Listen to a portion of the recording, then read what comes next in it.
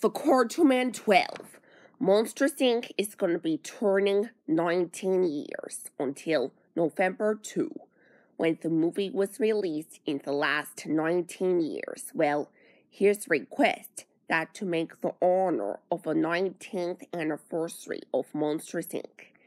It's the same thing like I did on the Nut Job series, Frozen 2, Moana, Rio, The Secret Life of Pets series, and Toy Story 3.